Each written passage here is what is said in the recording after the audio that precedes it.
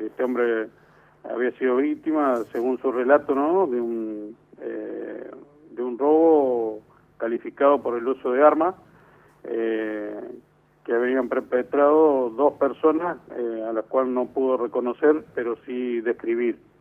en ese en ese momento de que se nos hizo conocer este hecho, eh, inmediatamente se dio alerta a todas las comisarías vecinas, eh, produciendo un, cerrojo, tratando de eh, identificar en, primera instancia lo que podía ser un vehículo que en el cual se transportaban estas personas.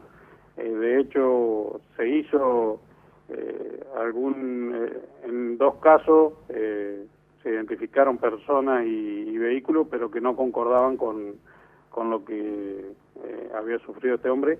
Hoy la División de Investigación y la División Criminalística siguen trabajando este hecho. Eh, ¿Lograron llevarse pertenencias?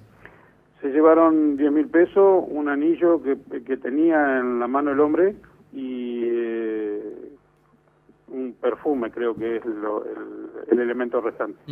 Llama la atención la violencia también, ¿no? Eh, la amenaza que, recibió esta persona, además, obviamente, del robo en sí.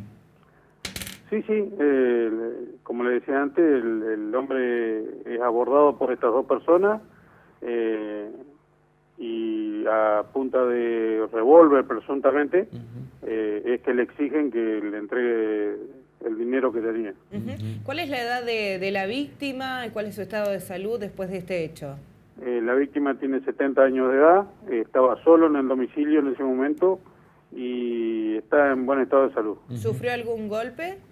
No, no, por suerte no. Eh, sí, este, habían este, ejercido una atadura con presuntamente con un alambre, pero que no, no le infirió ningún tipo de lesión.